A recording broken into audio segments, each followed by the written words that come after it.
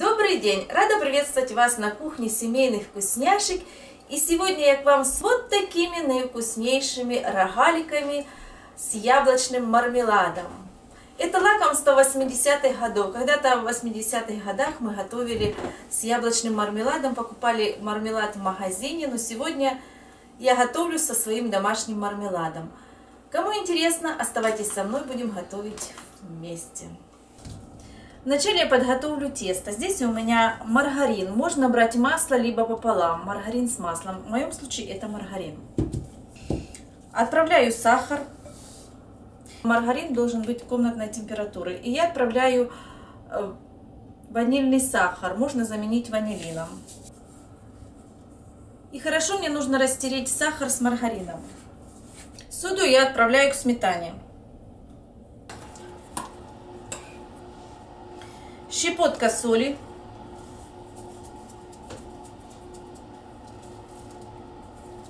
четыре яйца,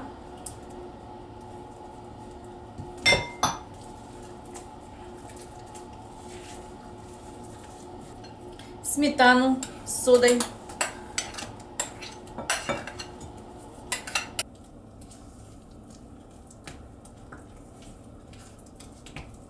Теперь я буду добавлять просеянную муку и заводить тесто. Тесто должно получиться очень-очень мягенькое. Завела я тесто, вот такое вот оно мягенькое-мягенькое получилось. Теперь я его положила в пакетик и отправляю на полчаса в холодильник. Я буду для начинки использовать вот такой вот яблочный мармелад. Этот мар... яблочный мармелад готовила я его сама.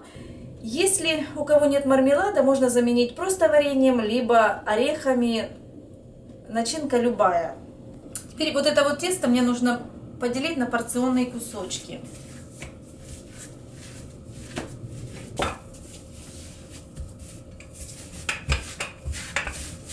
Раскатала я тесто. Очень тоненько, вот такое вот оно у меня, примерно пол сантиметра. Теперь мне нужно разрезать его на такие треугольнички.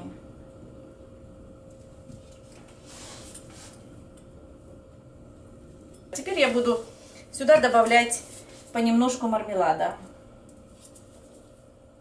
Теперь я их буду сворачивать вот такую вот трубочку. Вот такие вот они маленькие, аккуратненькие, красивенькие. И на противень, противень я застелила бумагой для выпечки.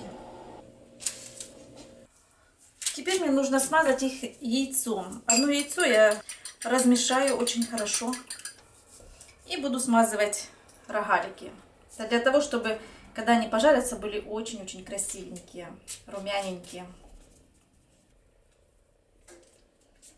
И сверху я посыплю немного коричневым сахаром.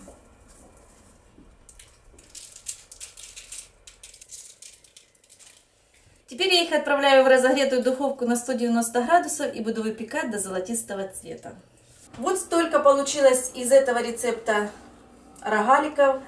Рогалики получились очень-очень вкусные, мягкие, тесто рассыпчатое, вкусно, съедаются очень-очень быстро. Приготовьте, не пожалейте. Я думаю, ваши домашние оценят ваш труд. И всем-всем огромное спасибо, кто был с нами. А с вами была Ольга, Семейные Вкусняшки. И до новых встреч. Всем пока-пока. И всем-всем Приятного чаепития!